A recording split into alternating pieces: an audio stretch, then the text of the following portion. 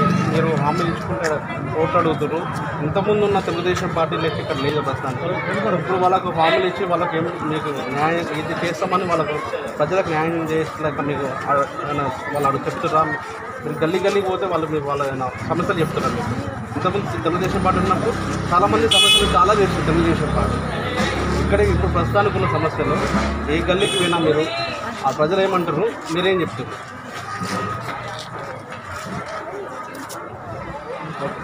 చెప్తారు ఎక్కడ పోయినా సమస్యలే సమస్యలు. టీఆర్ఎస్ వాళ్ళు పోతే మీరే చూసారు నిన్న కార్పొరేటర్ని చెప్పులతో కొట్టి పంపించారు మీరు అడిగిన ప్రశ్నలనే సమాధానం ఉన్నది. తెలుగుదేశం పార్టీ నిర్మించిన నగరం హైదరాబాద్ నగరం. ఎప్పుడైతే తెలుగుదేశం పార్టీ నారా చంద్రబాబు నాయుడు గారు ఈ యొక్క హైదరాబాద్ని నిర్మించినారో నిర్మించడం అనంటే నిజాం నిర్మించిన హైదరాబాద్ కాదు. కొత్త తరం హైదరాబాద్ని నిర్మించిన ఘనత తెలుగుదేశం పార్టీకి మాత్రమే దక్కుతుంది. ఆ రోజు చేసిన రోడ్లు ఆ రోజు చేసిన దవాఖాన్లు ఆ రోజు కట్టిన దవాఖాన్లు రోడ్లు బడులు అన్నీ కూడా మీకే తెలుసు. తెలుగుదేశం పార్టీ మీరు చూస్తే ఈ నరసింహ బస్తీ అనేది ఒకప్పుడు చాలా చాలా పేద పేద కుటుంబాలు ఉన్న బస్తీ. ఈ రోజు అన్ని బంగ్లాలు అయినాయంటే దానికి కారణం కూడా తెలుగుదేశం పార్టీ. ఎందుకంటే దీనికి లోపల రావాలంటే రోడ్లు ఉండేవి కాదు అన్ని బండలు ఉండేవి బండల్ బండలు బండలు బండలు ఉండేది నరసింహ బస్సుకి. చాలా మందికి తెలియకపోవచ్చు. నరసింహ బస్సు నేను ఉండేది ఇక్కడే అన్నట్టు. నేను నా పేరు బిల్డర్ ప్రవీణ్. నేను తెలుగుదేశం పార్టీకి దాదాపు ఇరవై ఏడు సంవత్సరాల నుంచి పనిచేస్తున్నాను. అంబర్పేట్ నియోజకవర్గం ఏదైతే ఒక గ్రామం నుంచి పట్టణం వైపు దూసుకెళ్ళిందో దానికి కారణం తెలుగుదేశం పార్టీ. మీరు అడిగిన ప్రశ్నలకు చెప్పాలంటే హాస్యపదం. టీఆర్ఎస్ ప్రభుత్వం ఎక్కడికి వెళ్ళినా కూడా చుక్కెదురవుతున్నది. ఎందుకంటే కరోనా కాలంలో అందరూ అన్నమో రామచంద్ర అన్న సమయంలో ఏ ఒక్క లీడర్ రాలేదు ఏ ఒక్క ఎంపీ రాలేదు ఎమ్మెల్సీ రాలేదు. ఇప్పటి కూడా కరోనా ఉంది. ఇప్పుడు ఎందుకో తిరుగుతున్నారు? జనాల మధ్యలో ఎందుకు తిరుగుతున్నారు మీరు? అప్పుడు భయపడ్డ వాళ్ళు ఇప్పుడు భయపడరా? ఎందుకంటే ఎలక్షన్లనా?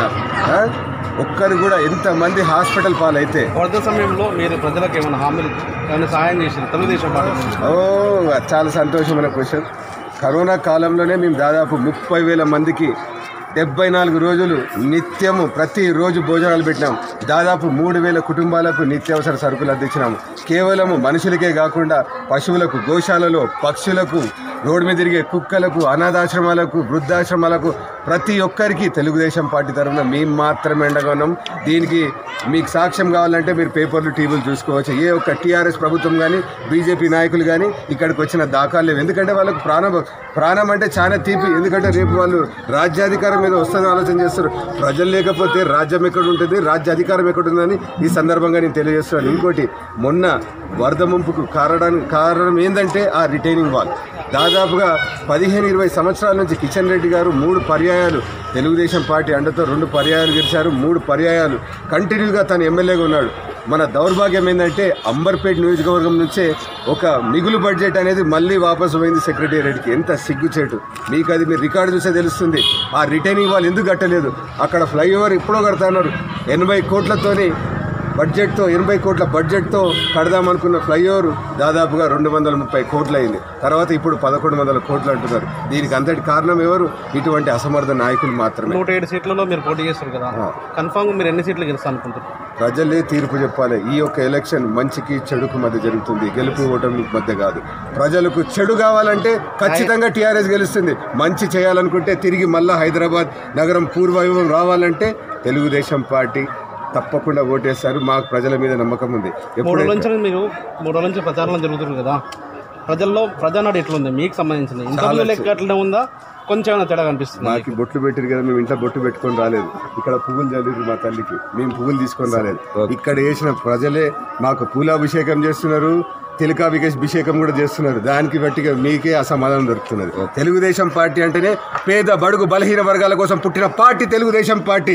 బీసీలకు ఎస్సీలకు అండగా నిలిచిన పార్టీ తెలుగుదేశం పార్టీ.